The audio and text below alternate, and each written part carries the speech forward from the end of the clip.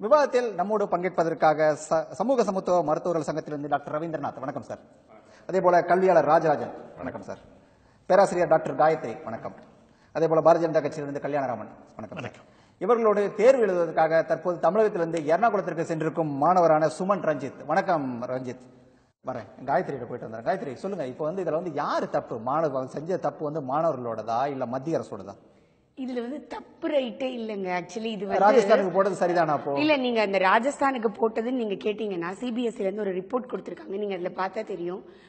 ராஜஸ்தான் மட்டும் இல்ல அஹ், இந்தியால இருக்கிற ஆந்திராவா இருக்கட்டும் கேரளாவா இருக்கட்டும் ராஜஸ்தான் இந்த இடத்துல எல்லாம் நிறைய பிரைவேட் கோச்சிங் சென்டர்ஸ் ஒரு ஐந்தாறு வருடமாகவே இயங்கிட்டு இருக்குன்னு உங்களுக்கு தெரியும்.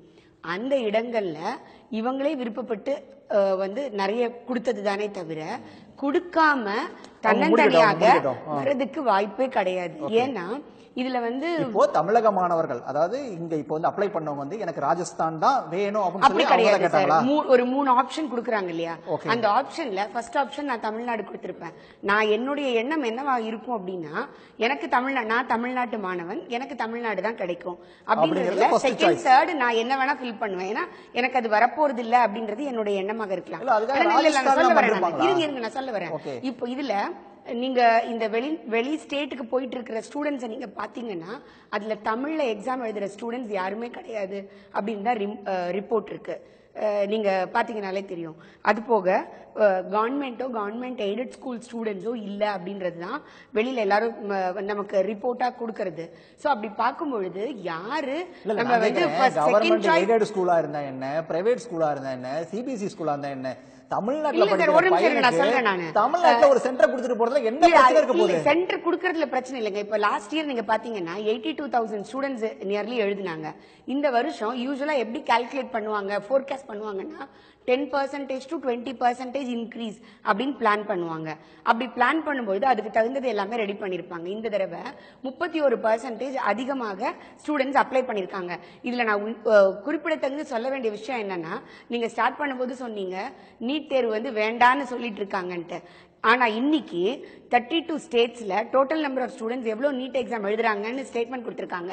இதில் நீங்கள் பார்த்தீங்கன்னா டாப் ஃபைவுக்குள்ளாரையே நம்ம தமிழ்நாடு வந்துருது.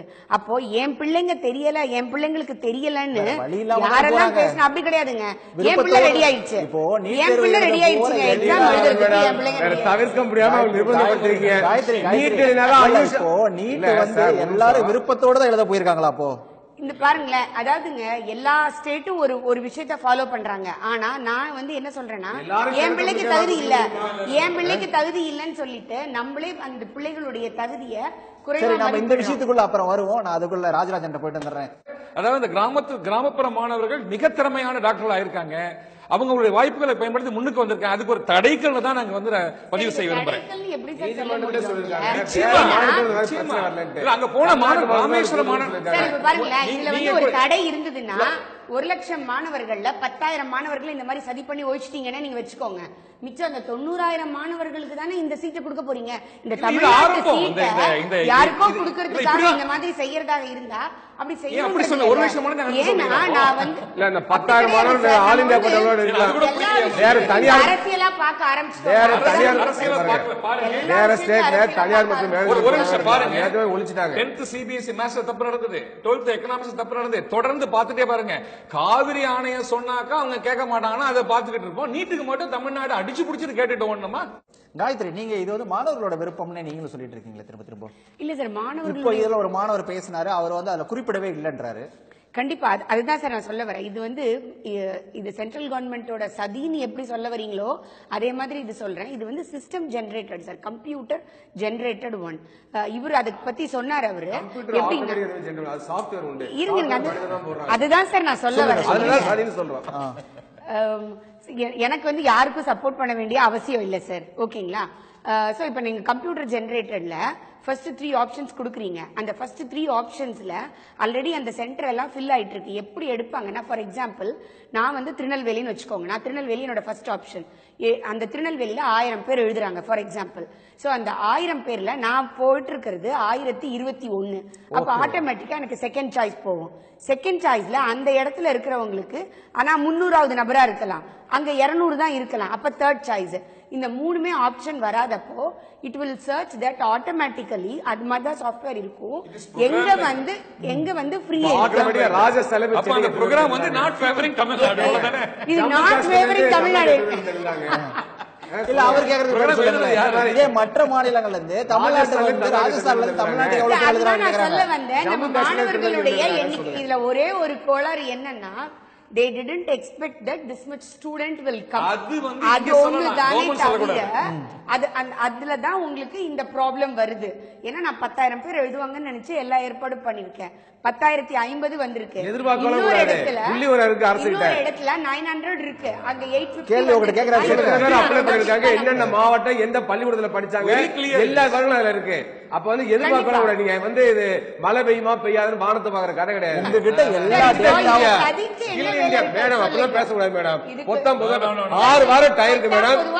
இல்ல ஆன்லைன் மூலமா பதிவு பண்ணிருக்காங்க அதே இடத்துல இருங்க. ஆன்லைன் மூலமா பதிவு மாணவர்கள்.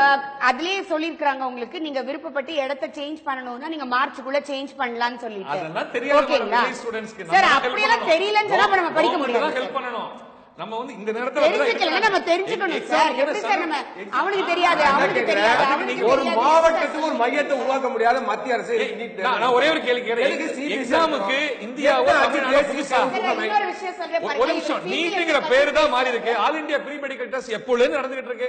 செவன்டி நைன் அது காயத்ரி உங்ககிட்ட தான் வர ஒரு பேராசிரியர் சொல்லுங்க. அலைஞ்சு திரிஞ்சு அப்படியே எங்கேயும் போய் அப்படி சுத்திக்கிட்டுலாம் அந்த தேர்வை எழுதினாதான் திறமை வளரும்னு நினைக்குதா மத்திய அரசு? இல்ல சார் திரும்பவும் திரும்பவும் நீங்க வந்து இந்த சிஸ்டமை விட்டு வெளியில தான் போறீங்க இது அரசியல் ஆக்குறீங்கன்றத நான் சொல்றேன். ஆனா மாணவன் வந்து அரசியல் கண்டிப்பாக இந்த சொல்றீங்களா? மாதிரி அரசியல் இல்லைன்னு நீங்க சொல்றீங்களா? சார் இதுல என்ன அரசியல்ன்றது எனக்கு புரியலைங்க சார் மேடம் மாநில உரிமை பறிக்குது அரசியல் சரி இல்ல சார் நம்ம நீட்டுக்கு வந்துட்டோம். இல்லைங்க சார் நம்ம வந்து நம்மளே வந்து கோர்ட்ல சொன்னது எனக்கு ஒன் இயர் டைம் கொடு. என் பிள்ளைங்களை நீட் எழுத வைக்கிறோம் தான் நம்ம கோர்ட்ல கேட்டோம். அதுக்கப்புறம் நமக்கு லாஸ்ட் இயர் நீட் வந்துருச்சு. சோ திரும்பவும் நமக்கு வந்து நீட் வேணுமா வேண்டாமான்றத பத்தி எல்லாம் நம்ம பேச போறது இல்ல அடுத்தது நீங்க எடுத்துக்கிட்டீங்க அப்படின்னு சொன்னா இப்ப நீங்க கேட்டீங்கல்ல அந்த கொஸ்டின் நியாயம். என் பிள்ளை வந்து திடீர்னு அங்க போயிட்டு இடத்த தேடி கண்டுபிடிச்சு எழுதும்போது அவனுக்கு ஒரு மன உளைச்சல் ஏற்படும். இது வந்து கண்டிப்பாக இந்த நிர்வாகத்துல ஏற்பட்ட ஒரு சில குளறுபடிகள்னாலதான். Okay, okay. மத்தபடி இதுல வந்து அரசியல் மற்றும் இந்த நிகழ்ச்சியில் பங்கேற்ற கருத்துக்களை வழங்கிய அனைவருக்கும் நன்றி. மீண்டும் ஒரு நிகழ்ச்சியில் சந்திப்போம் நேர்களே. நன்றி. வணக்கம்.